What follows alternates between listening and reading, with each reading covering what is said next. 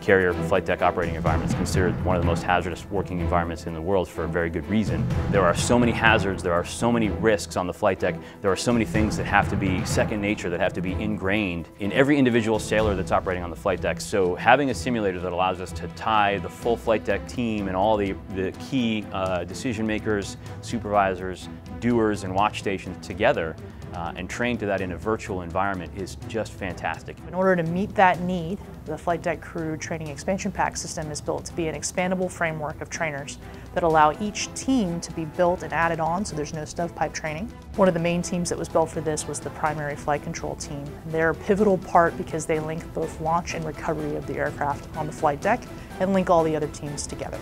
Landing signal officer team was also built. They're in charge of recovery.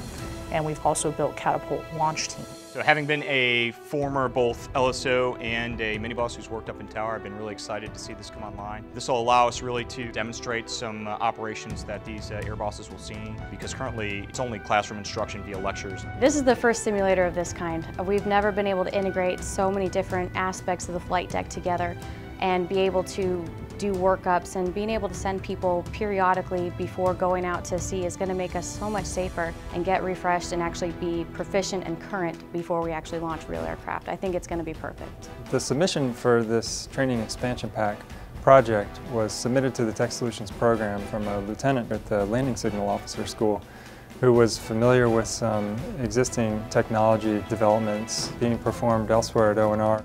Tech Solutions is a program within the Office of Naval Research Global that's funded annually to develop technologies to a prototype form uh, in a rapid response fashion based on submissions directly to us from any fleet member or any force member.